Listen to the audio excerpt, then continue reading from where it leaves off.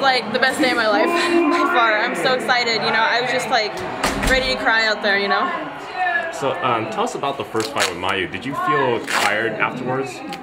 I mean I felt really good. Um, you know, my, my Brian was saying, well, I was getting afraid you looked like you were getting tired. I think I didn't get a, a really good warm up because I uh, was told the whole time we were going to be the second fight, and then like five minutes before they switched it, and they're like, no, you're the first fight. And I'm like, well, I'm not exactly ready, but I guess I'll go. You know.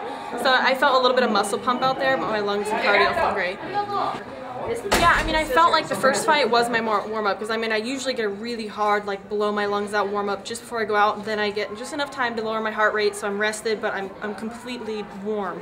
And I, I wasn't quite like that in my first fight, but it felt great in the second one. It looked like um, Hitomi had a um, a knee bar on you in the first round. You know, were you in trouble at any point? She had a, a toe hold, and um, there was heavy pressure. You know, um, but I, I mean, there's no way she was going to tap from it, you know, and, and, I felt like I knew how to defend it well enough, and that's what I did, and she, I, I, was just going to let her kind of expend her energy on it because I, I knew she wasn't going to get it, so. I think it's the fact that I had her back the whole time. Every time we went to the ground, she never had a good position on me, really. I mean, she turned in a little bit, but I was going straight for an armbar, and I think at the end of the first or second. Um, so, you know, pretty much I established position, and I felt like I was uh, getting clean exchanges in the on the feet and being aggressive, so. Uh, fair enough to say we're maybe equal on the feet, and I felt like I outpositioned her on the ground.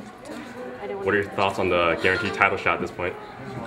Just, I, you know, that's what I came here for, and now, uh, you know, the hard work paid off, and I'm just, I can't wait. I'm ready. I mean, I'm just gonna go train even harder and be more ready. I learned a lot from this tournament too. Every time I fight, you know, come out learning something else, and I, uh, I'm, I'm looking forward to getting that belt. I'm looking forward to hopefully fighting Sarah Kaufman. I hope that she wins the title again against Marloes.